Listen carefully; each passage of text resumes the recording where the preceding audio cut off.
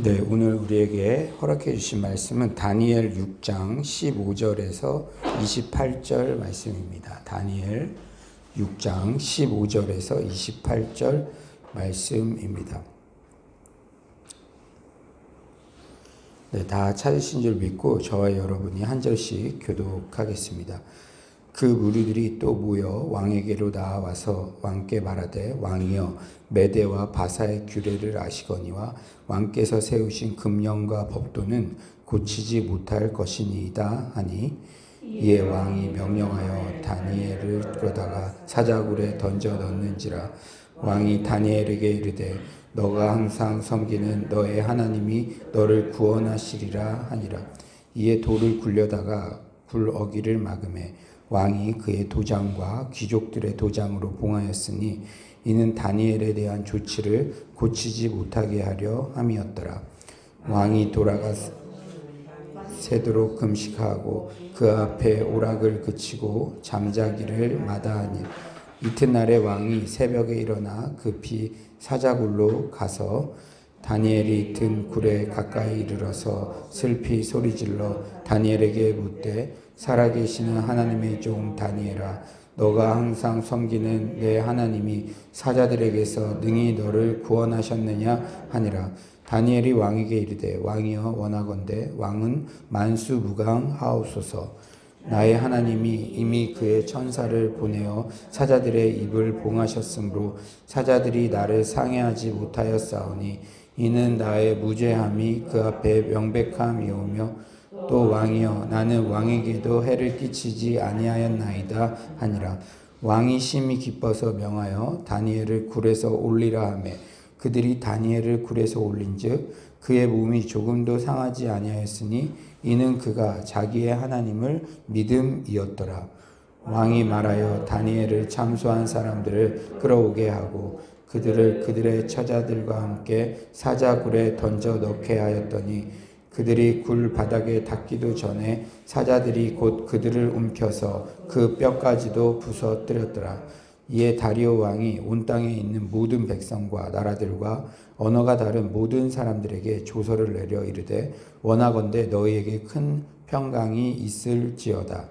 내가 이제 조서를 내리노라. 내 나라 관할 아래에 있는 사람들은 다 다니엘의 하나님 앞에서 떨며 두려워할지니 그는 살아계시는 하나님이시오 영원히 변하지 않으시리시며 그의 나라는 멸망하지 아니할 것이요 그의 권세는 무궁할 것이며 그는 구원도 하시며 건져내기도 하시며 하늘에서든지 땅에서든지 이적과 기사를 행하시는 이로서 다니엘을 구원하여 사자의 입에서 벗어나게 하셨음이라 하였더라. 이 다니엘이 다리오 왕의 시대와 바사 사람 고레스 왕의 시대에 형통하였더라. 아멘.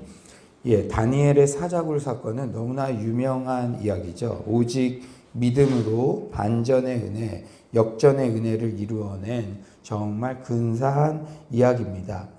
코로나19로 모든 것이 위축되어 있는 이때 이런 반전과 역전의 은혜가 우리에게 간절히 필요한 줄 믿습니다. 오늘 본문을 보면 왕은 세상의 모든 것을 가진 것 같지만 무기력해 보이고 반면에 다니엘은 포로로 잡혀와서 사자굴에 갇힌 신세 같지만 오히려 훨씬 여유 있어 보이고 강력해요. 이것이 하나님과 동행하는 하나님의 사람의 근사함입니다. 오늘 보면 오히려 왕은 막 안달을 하고 왕은 막 이게 어떻게 될까 막 불안해하는 것 같고 그렇지만 다니엘은 포로의 그러한 신분이었음에도 또 사자굴 안에 있는 그런 상황임에도 오히려 왕을 안심시키는 그러한 그 영혼의 부요함과 평안함과 안정감이 있다는 것이죠. 오늘 본문을 보며 은혜 받은 부분 몇 가지를 나누고자 합니다. 첫 번째로 다니엘은 이방 왕에게도 정말 인정받고 존귀 여김을 받는 그런 존재였어요. 오늘 그 왕의 반응을 보면은 그냥 의례적으로 자신의 일이 잘 되기 위해서 그냥 수단으로 방법으로 다니엘을 사용했던 것이 아니라 정말 다니엘을 사랑했던 것 존귀 여겼던 것을 잘 볼 수가 있습니다. 우리 15에서 16절 인터넷으로 들으시는 분들도 15에서 16절 한번 다 같이 한번 큰 목소리로 읽어 봅시다. 시작.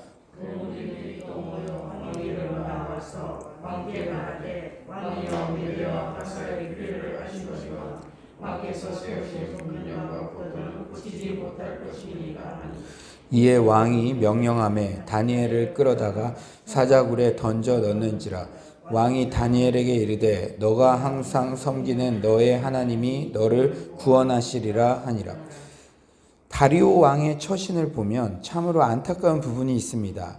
부하들의 계략에 빠져 옴싹달싹 못하는 그런 상황에 빠졌어요.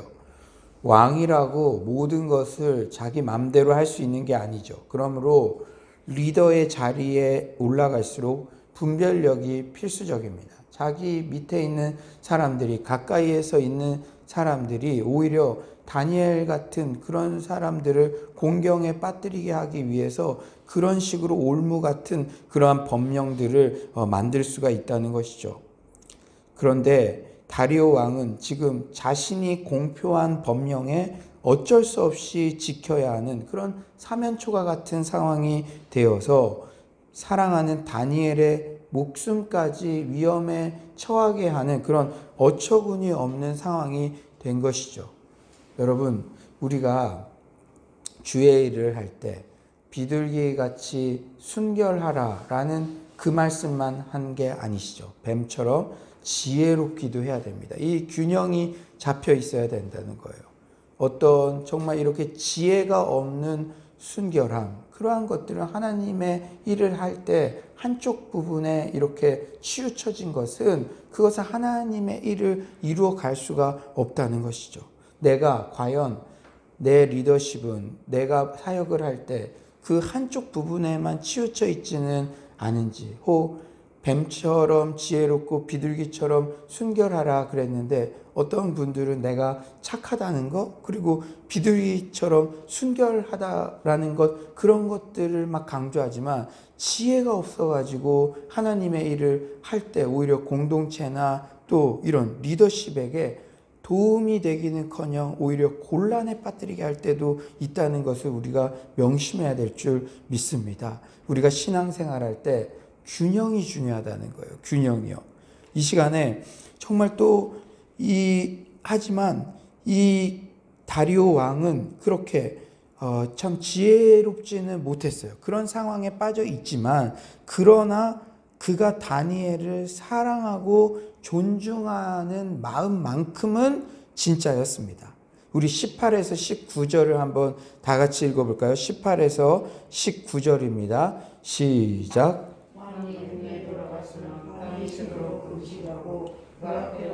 그치고 잠자기를 마다하니라 이튿날에 왕이 새벽에 일어나 급히 사자굴로 갔어 예, 왕이 밤새 금식기도 했다는 그런 내용이죠. 그리고 이튿날 새벽에 급히 사자굴로 갔습니다. 왜 이렇게 이튿날 급히 사자굴로 갔냐? 왜냐하면 고대 바벨론 관습에 따르면 죄인이 형을 당했는데 다음 날까지 죽지 않으면 용서받았기 때문이에요. 다니엘이 이렇게 이방 왕에게까지 사랑받고 존중받았다는 사실이 참으로 큰 도전이 됩니다. 사랑하는 여러분, 여러분의 회사 사장님께 또 불신 상사들, 불신 시댁 식구들에게까지도 탁월함을 인정받고 진짜 크리스천으로 인정받는 그런 모습이 있는지 되돌아봅시다. 물론 믿음 생활을 열심히 하는데도 단지 신앙 때문에 애매히 고난받는 경우도 존재해요.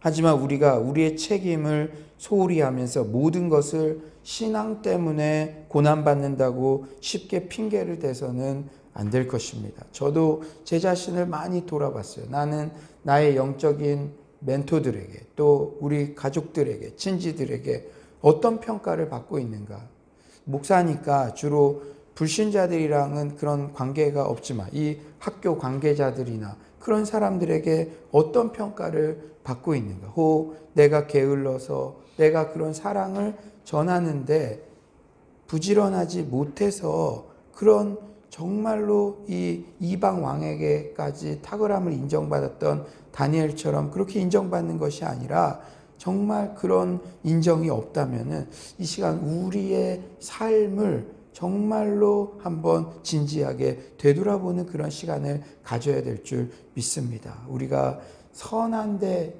지혜롭고 또 악한 데는 미련하고 또 선한 데는 부지런해야 되죠. 우리가 부지런하지 않게 그러한 선을 행하는데 게을름으로 인해서 불신자들에게 어떤 좋지 못한 평가를 받는다면 그것은 어, 하나님의 교회와 또 하나님의 얼굴에 영광을 돌리지 못하는 그러한 모습들이잖아요.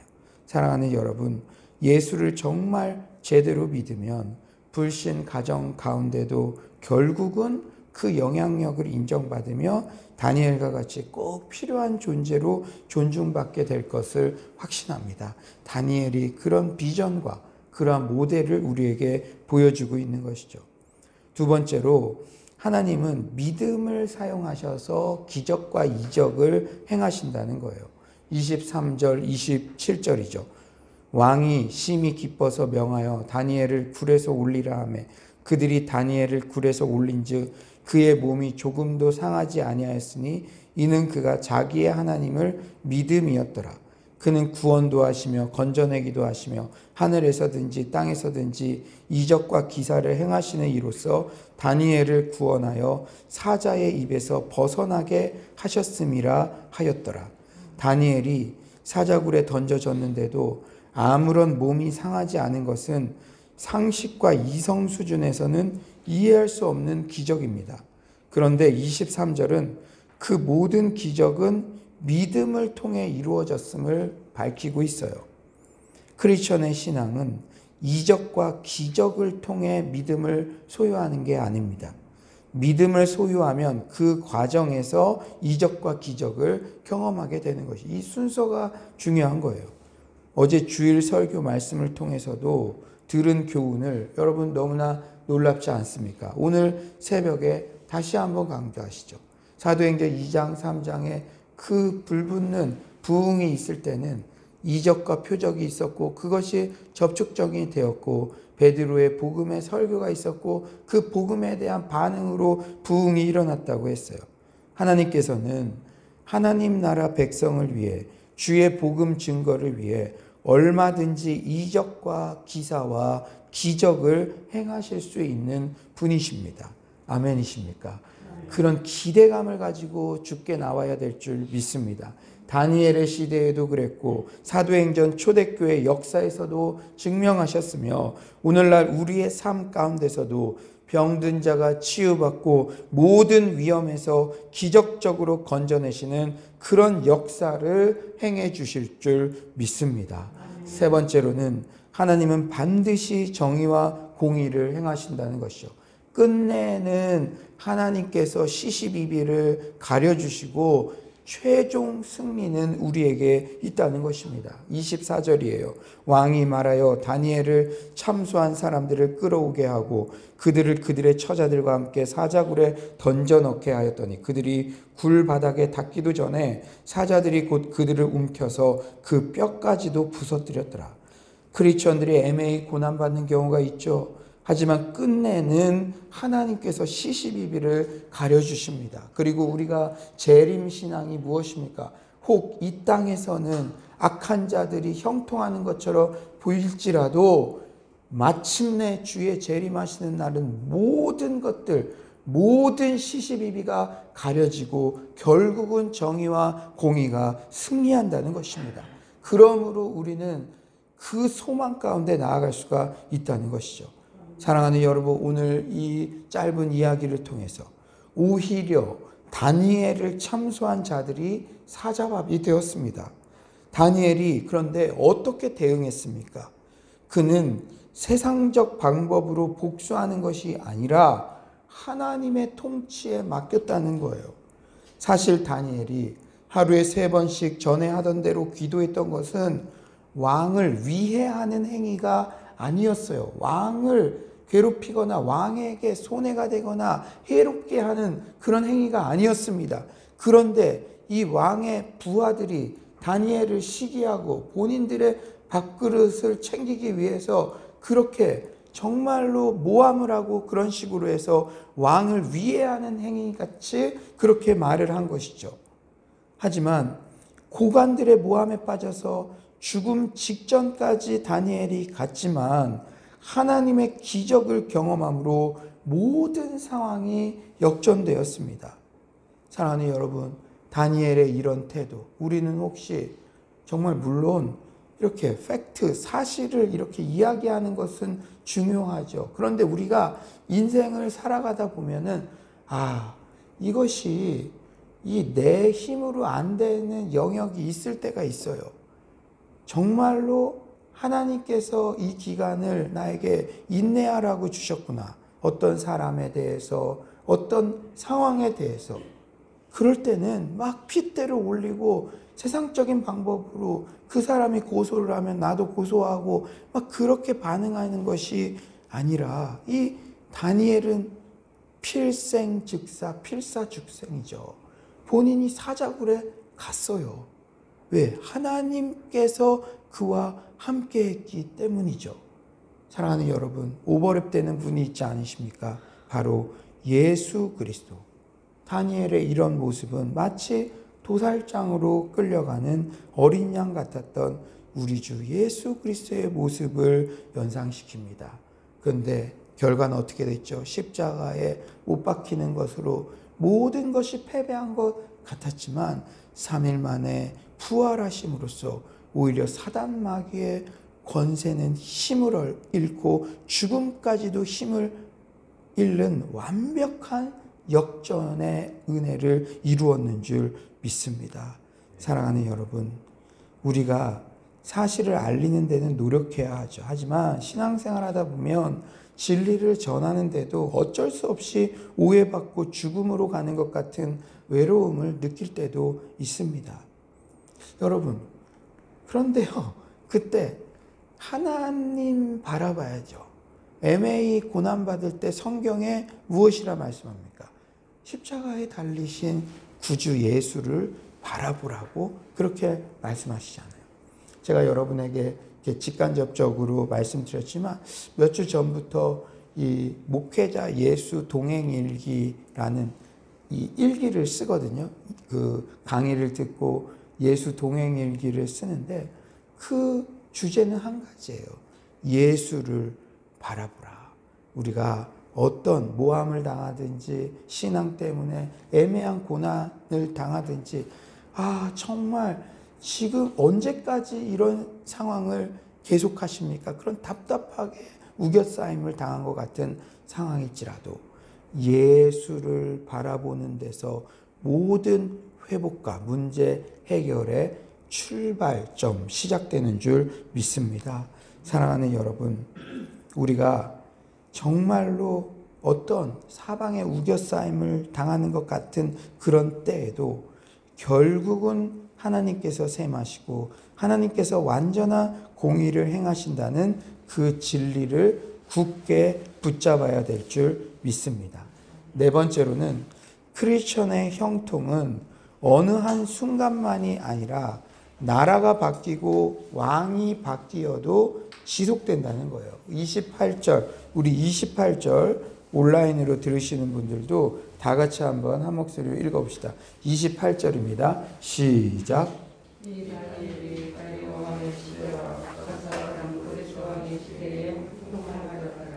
토요일 본문에도 나왔지만 다니엘은 바벨론 느부갓네살 왕 그리고 그 아들 벨사살 왕 때도 쓰임 받았죠. 또한 나라가 바뀌어 메데 다리오 왕 때도 큰 사랑을 받았습니다. 또다시 바사 고레스 왕의 시대에도 형통하였다고 그렇게 성경은 증언해요. 너무나 큰 도전을 받지 않습니까?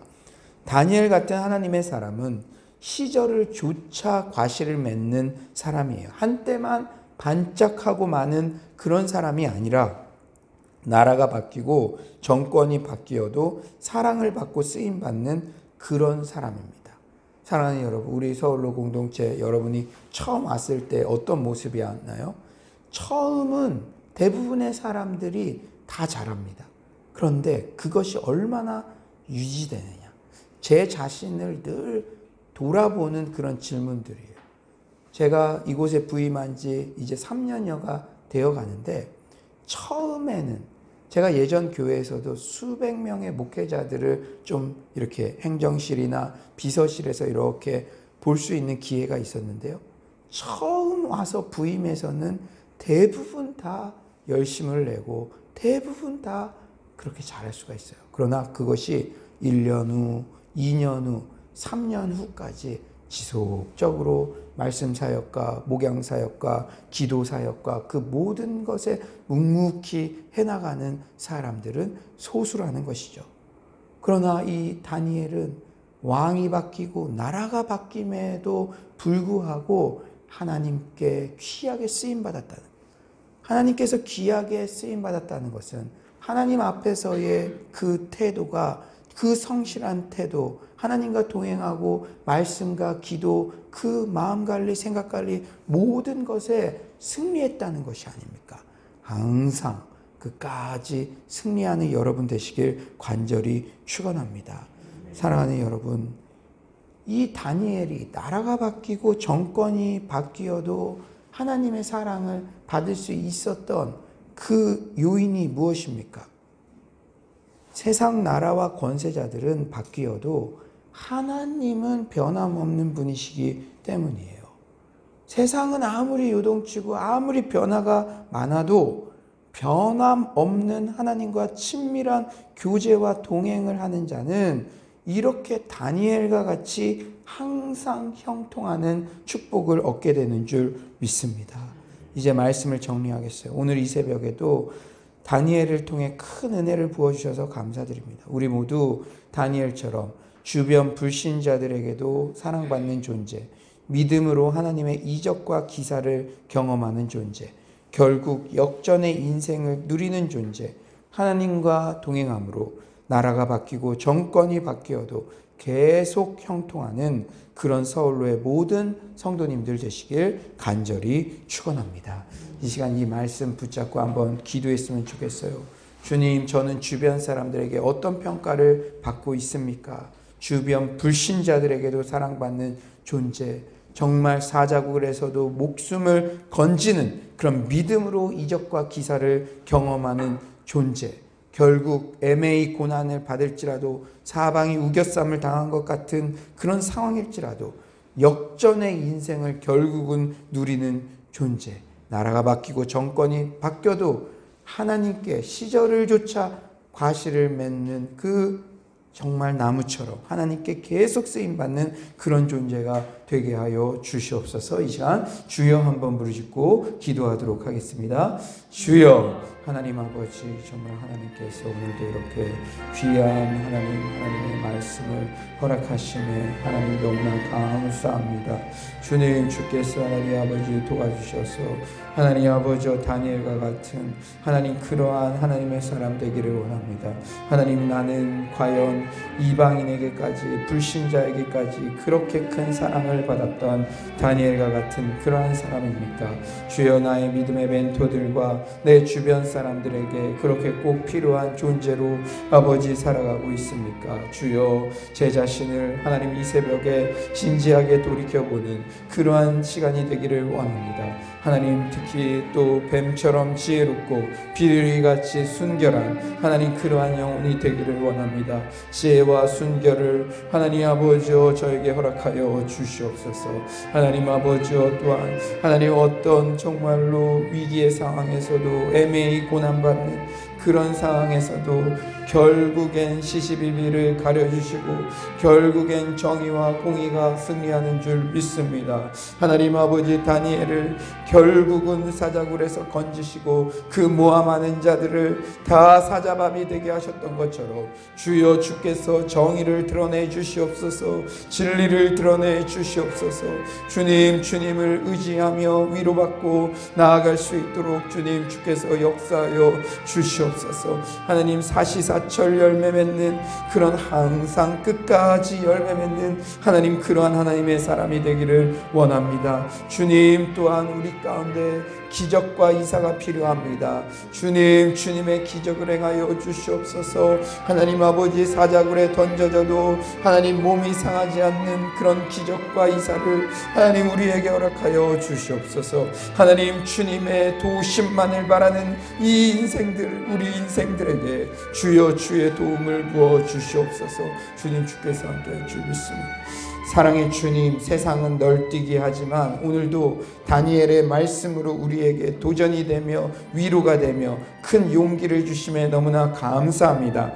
다니엘이 이렇게 됐다면 성정이 같은 우리와 같은 인간이었던 다니엘이 이런 근사한 삶을 살아갈 수 있었다면 우리 또한 그 길로 걸어갈 수 있는 줄 믿습니다. 내게 능력 주시는 자 안에서 모든 것을 할 수 있다는 그 믿음의 고백으로 나아갈 수 있도록 도와 주시옵소서. 하나님 오늘 이 새벽에 나는 과연 불신자들에게 우리 불신 가족들에게 어떻게 존경받고 어떻게 인정받는 존재인지 우리 자신을 돌아보게 하심에 감사합니다. 주님 또한 지금 믿음으로 이적과 기사가 필요한 그러한 시기입니다. 주의 기적과 이적만이 우리를 살릴 수 있는 그런 사방이 우겨쌈을 당한 것 같은 그러한 시기입니다. 주님 믿음으로 주님을 믿고 나아갈 때 모든 문제들을 해결하여 주시옵소서. 초대교회에 임했던 그 부흥의 역사 우리도 맛보게 하여 주시옵소서. 사랑의 주님 또한 결국은 하나님께서 셈하시고 결국은 역전시키시고 다니엘은 사자굴에도 보호하시고 또한 그 모든 모함했던 자들이 죽게 되는 그런 정의와 공의가 결국은 이루어지는 줄 믿습니다. 우리가 애매히 고난받을지라도 십자가의 주님 바라보며 넉넉히 승리하게 하여 주시옵소서. 하나님 나라가 바뀌고 정권이 바뀌고 모든 사람이 바뀌어도 다니엘은 하나님과 동행하는 다니엘은 하나님의 사람으로 귀하게 쓰임 받았습니다. 우리 서울로의 모든 성도님들이 사시사철 열매를 맺는 그러한 하나님의 사람들 되게 하여 주시옵소서. 주님께서 오늘 이 새벽에도 큰 은혜 주심 감사드리며 예수님의 이름으로 기도드립니다.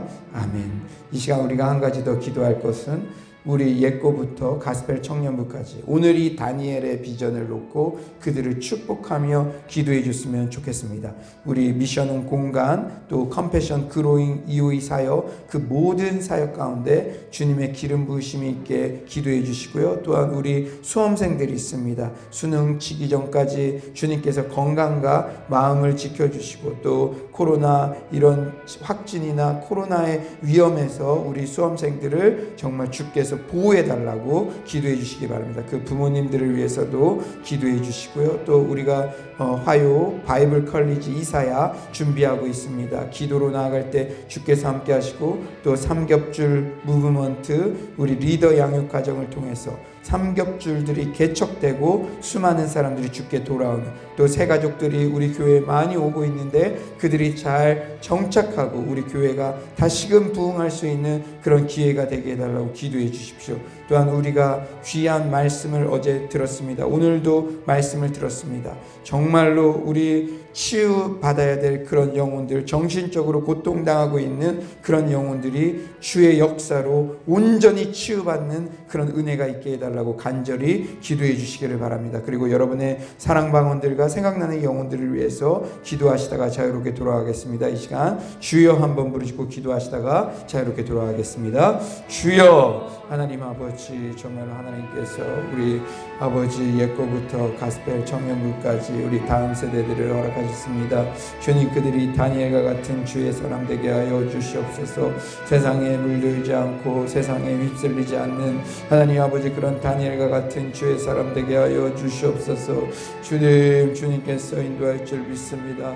하나님 아버지요 정말로 하나님 하나님 우리 컨베션 그로의 이호인 사역과 아버지요 정말 미션 사역 그 모든 것들 가운데 주께서 기름 부으신 것들이 있는데 주님 주님께서 하나님 아버지 길을 열어주시고 하나님 아버지 끝까지 하나님을 아버지 조차 하나님 살아갈 수 있도록 아버지 아버지께서 저발로 함께하여 주시옵소서. 하나님 주께서 하나님 우리 수험생들을 하나님 보살펴 주시고 하나님 코로나의 위험에서 건져 주시고 하나님 그들이 시험 볼 때에 주님 주님께서 은혜를 주시고 능력을 주시고 하나님 아버지 회복을 하여 주시옵소서. 주님 수험생 부모님들 계십니다. 하나님 아버지여 정말로 이들의 인생을 주께서 책임져 주시옵소서. 하나님 아버지여 하나님 아버지 하나님 주께서 아버지 하나님 아버지 영혼들을 하나님 붙잡아 주시옵소서. 주님 갈 바를 알지 못해서 하나님 아버지 이렇게 방황하는 영혼들 주님 예배와 기도와 말씀 안에 일어설 수 있도록 주님 주께서 하나님 아버지 도와주시옵소서. 주님 순종하는 제자도가 되기를 원합니다. 하나님 아버지 순종하는 그 역사를 통해서 하나님 아버지 주의 정말로 더욱더 그 아버지 일들이 번져나갈 수 있도록 부흥될 수 있도록 주님 주께서 하나님 도와주시옵소서. 하나님 아버지 병든 자들이 치유받기를 원합니다. 주의 기적만을 바라는 모든 것이 막힌 것 같은 자들이 주 안에 소망을 발견하며 담대히 나아갈 수 있는 그런 역사가 하나님 있게 하여 주시옵소서